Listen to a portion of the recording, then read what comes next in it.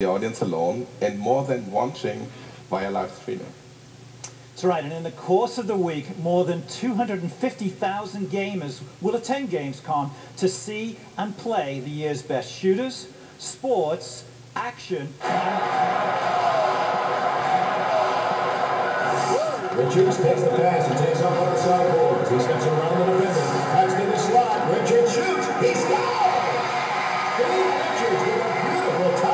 snapshot.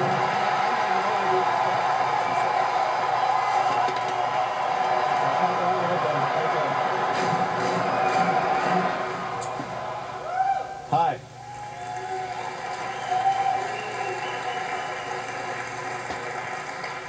Hi, I'm Dean Richards, and I run development. Hold on. That's much better.